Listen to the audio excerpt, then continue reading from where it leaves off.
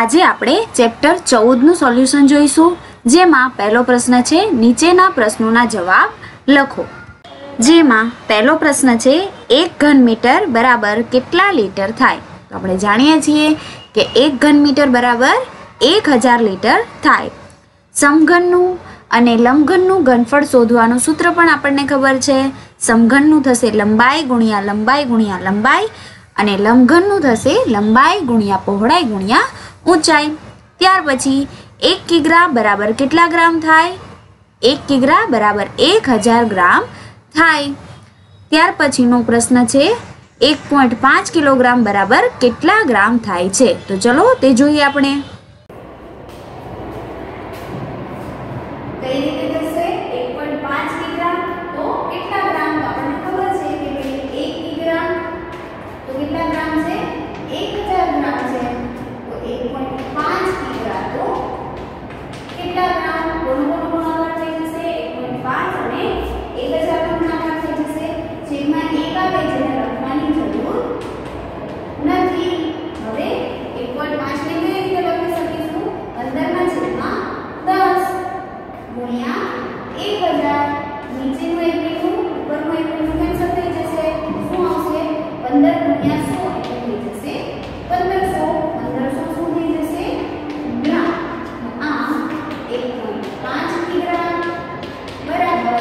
પંદરસો ગ્રામ થાય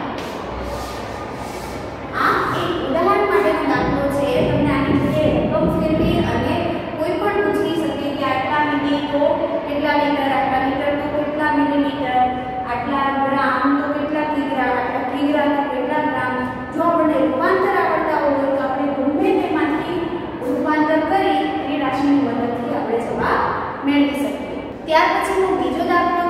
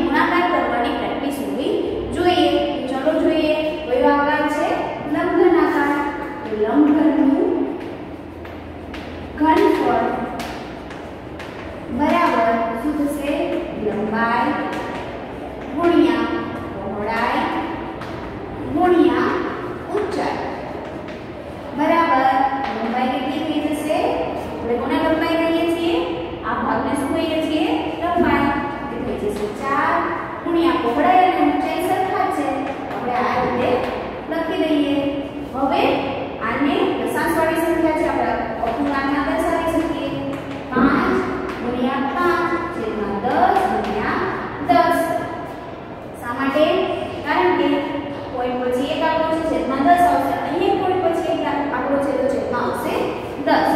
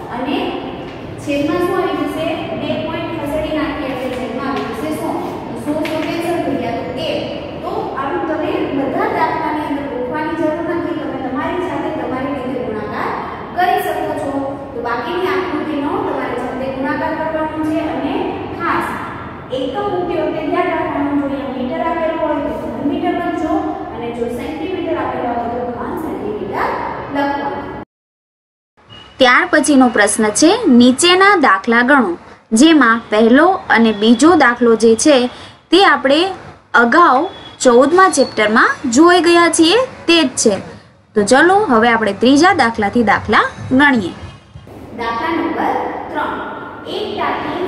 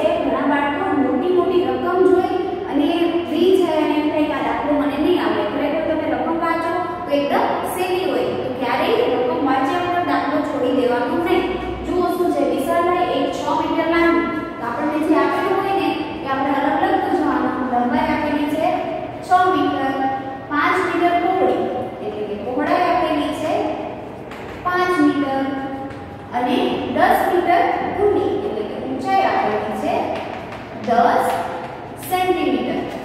એકમ બરાબર જોવાના, અહીંયા 6 મીટર છે 5 મીટર છે, પણ 10 સેન્ટીમીટર છે. તો હવે આપણે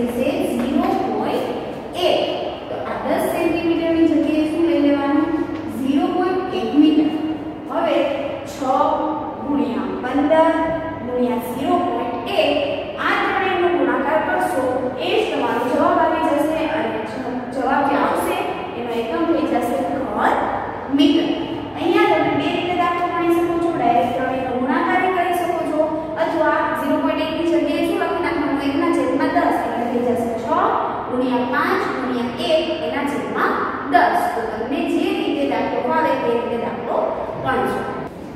દાખલા નંબર પાંચ. એક લંગર પેટીનું માપ આઠ સેન્ટીમીટર, છ સેન્ટીમીટર પણ બે સેન્ટીમીટર છે. તો તે પેટીનું ઘનફળ શોધો. હવે આપણને અહીંયા ગુણાકાર આપેલા છે, એનો મતલબ શું થાય છે? પેલું છે લંબાઈ, બીજું છે પહોળાઈ, અને ત્રીજું છે ઊંચાઈ. ત્રણેયના માપ અલગ અલગ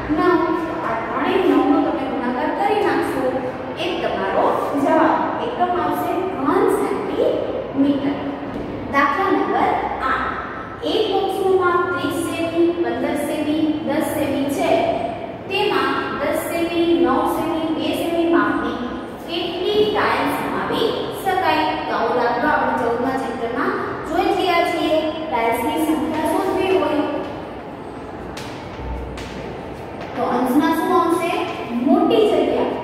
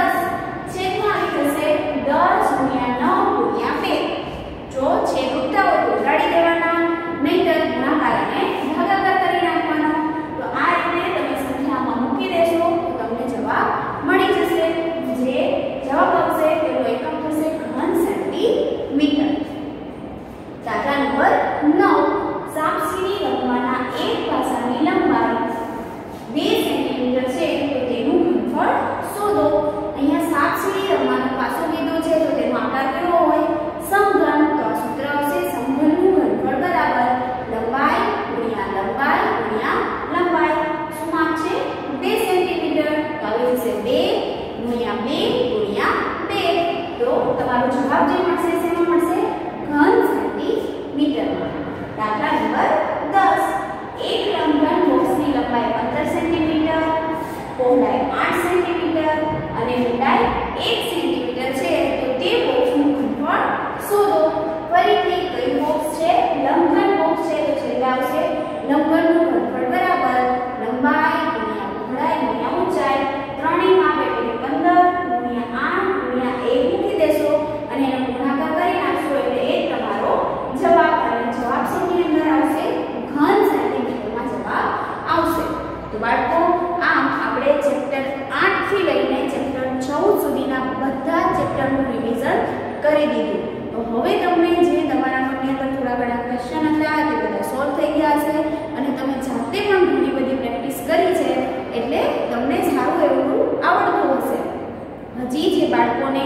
સૂત્ર યાદ રાખવામાં પ્રોબ્લેમ થાય છે. તે ખાસ સૂત્ર પાકા કરજો, કારણ કે સૂત્ર આવડતા હશે તો જ દાખલા આવડશે.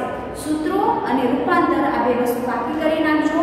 બાકી દસકાવાળા દાખલા છે, દસકાવાળી બાદબાકીના દાખલા છે, ગુણાકાર અને ભાગાકાર છે. આવા દાખલાની પ્રેક્ટિસ કરશો એટલે તમને ચેપ્ટર આઠથી લઈને ચેપ્ટર ચૌદ સુધી